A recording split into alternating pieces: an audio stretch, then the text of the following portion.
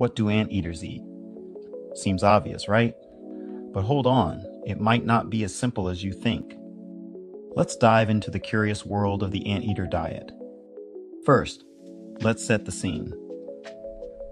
Picture an anteater with its long snout and even longer tongue, up to two feet long, by the way. That tongue is like nature's ultimate snack tool. You'd think they're just raiding at colonies all day, but anteaters are actually quite strategic eaters.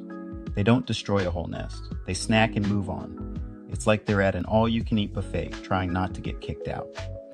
So, what's on the menu? Well, spoiler alert, it's not pizza. Their diet consists mainly of ants and termites. But here's a twist ant eaters can eat up to 30,000 insects in a single day. That's a lot of crunching.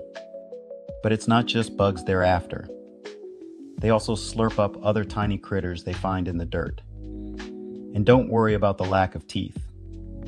Those powerful tongues and strong stomach acids do all the work.